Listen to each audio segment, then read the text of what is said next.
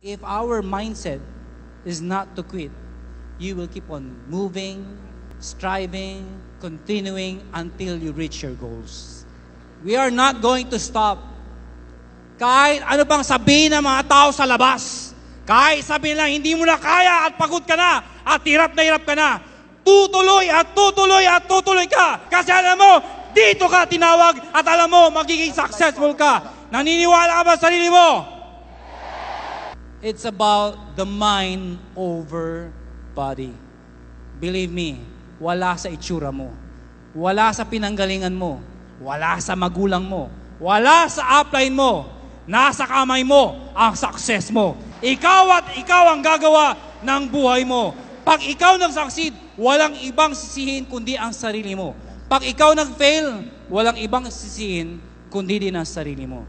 Ladies and gentlemen, ikaw ang gagawa ng buhay mo.